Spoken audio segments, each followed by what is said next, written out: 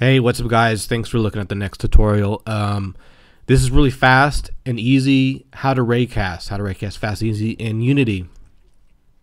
And here's what we're going to cover. We're going to cover how to create a C-sharp uh, script, which is really easy. How to create a raycast in Unity, how to return the distance of a game object hit by a raycast, how to draw a raycast in the editor, so you'll see, you'll actually physically be able to see the, the color of the raycast, so you can see it makes your work a lot easier. How to get the name of the game object and display it in the console. This, of course, is a tutorial for beginners.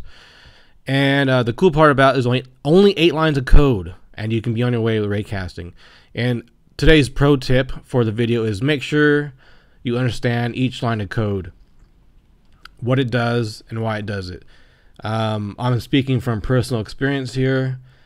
Just take the time to understand each line of code, what all of it does. This will save you a lot of time in the future and uh, a lot of grief as well. Um, so take the 5, 10, 15, 20 minutes, hour, however long it takes you. It doesn't matter, but make sure you at least understand it and then move along from there. Uh, you'll benefit from the long run. So let's just uh, let's just do it real quick. This is really easy. So we're going to tidy this up later, but first we have our big rod 01 scene and we have the files that came with uh, our package that we imported. And I just, this wasn't the last tutorial, but this is a, uh, a text file that I created that we're going to um, keep track of everything that we're doing. Uh, makes it easier for everybody following along. So the first thing you do, get your first person controller and um, just uh, right click on them and create uh, empty, and we'll just name them um, Raycast. So there's your Raycast, and you see how you uh, it already created the Raycast as a child of the first person controller here. So you can see the first person controller and the Raycast, and I'm just going to go ahead and move the Raycast forward a little bit and we'll put a mesh on this guy later. I don't know why that actually didn't import with the mesh. I don't know if that's new in Unity 5 uh, but it always used to import with a, a mesh on. For some reason it didn't, but we'll fix that later. So now go and uh, into your assets folder and right, right click, create C sharp. Never JavaScript. Don't even waste your time with JavaScript. Unity script, JavaScript. Do not.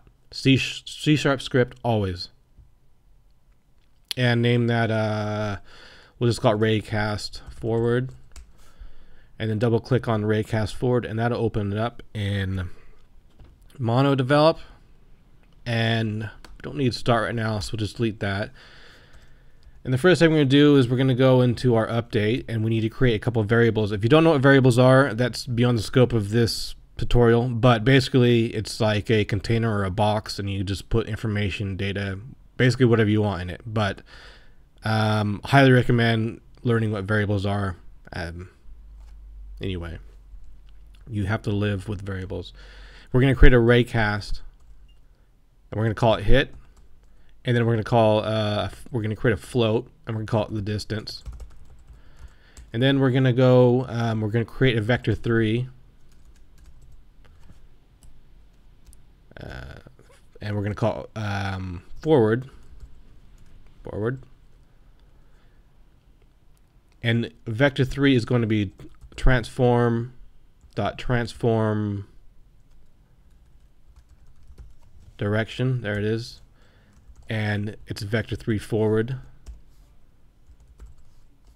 And this is the part where we actually cast out how far it's going to go. And what I like to do sometimes just to keep things more streamlined is sometimes uh, when I write a line of code I'll mess up and I'll have, have the error so I like just to check as I go along sometimes uh, for each line of code. If it's something new I'm not sure of. So basically all this is is we're creating a, a vector 3 we're calling it forward and then what it is is transform transform direction from the game object that this is on and that's just going to this script is going to be placed on the raycast game object and we're going to put the raycast forward on it right now. It doesn't matter when you do that but I'll just stick it on there right now since we're discussing it. And then it's going to cast a vector 3 forward relative to where this raycast game object is times 10 units, which units in uh, Unity are uh, in meters. So it'll cast it 10 meters forward. And then we got that done. So this is actually our debug raycast here. We'll just put that in.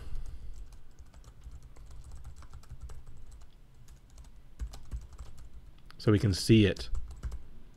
Makes life easier. Okay, everybody likes life to be easier, I think. If not, oh well. And then we go to debug dot not break draw ray and we're gonna go transform. And you notice this is the other the code hinting with C sharp is way better than uh, what it is in um, if you use JavaScript. And uh, we're casting it forward. Color is green.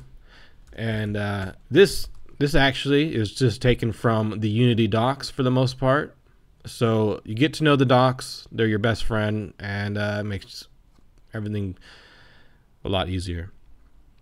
Okay, so now we got that. now we're gonna if something happens. If um, here's where we, where we actually use our raycast physics.raycast and then we're going to go transform dot, so where were we at transform dot position comma and then we're going to take this forward variable which is a vector 3 and put it there so we're using this vector 3 forward variable forward and then we're going to go out dot hit so that should be correct. And you can see down here Unity is updating and no errors. And Command Shift C on the Mac to shortcut key for to bring up the console here. And all it's saying is distance not is declared but never used, which we'll use it in a moment. So and Command W to close the console if it's uh, selected on the Mac. So we have so basically we're making our raycast right there. And then we're going to go, we're going to use this variable, the distance, which is a float, a number, and that's equal to hit dot distance. And so hit dot distance, hit what's hit, hit has a raycast, so that's the raycast that we're actually casting out, and then the distance of the, of how you know, whatever it is that we hit. So that's that's all that's saying. And this will always change because we're an update method. So there you go. And then to get the information on to the console, print the distance plus, so right here, the distance is how far it is away, 5 meters, 10 meters, whatever. Um, and always put in a space to make it more legible to read, make it easier to read. So it'll give you a number plus a space plus hit dot collider collider dot game object dot name. So you're gonna go say it's 10 meters away plus then you're gonna just put a space in there. Hit hit is the raycast. The collider of the raycast. Uh, that, that game sorry not the raycast but the game um, the game object that it hit game object and the name of it and we'll see that in the console. And all goes well, we won't have any errors.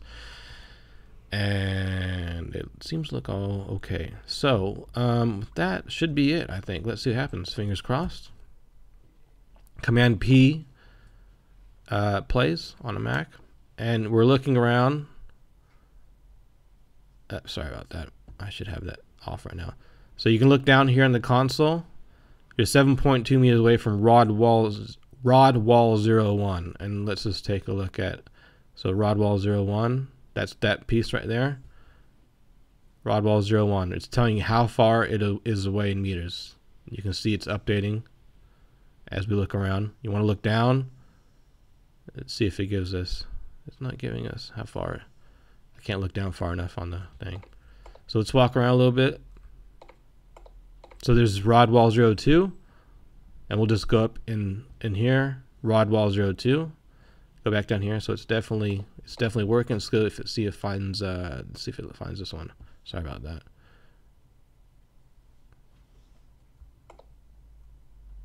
So that one should be rod wall, and we confirm that rod wall. Yep. So let's go over here, look up a little bit. Oops. Come on. Really? And uh, big ball or ball big. We're four meters away from the ball big. It's cool. Looking around. Ball big, ball big 01. And uh, just double click on that. Zoom out a little bit, see where you're at. So yeah, so it's working. All good.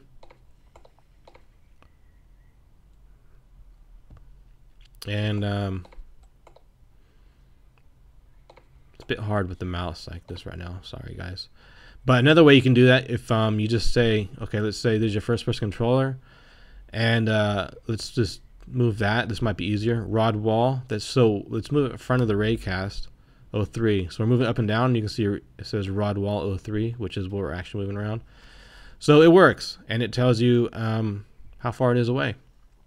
Returns the name of the game object, gives you the distance in meters, and that's it.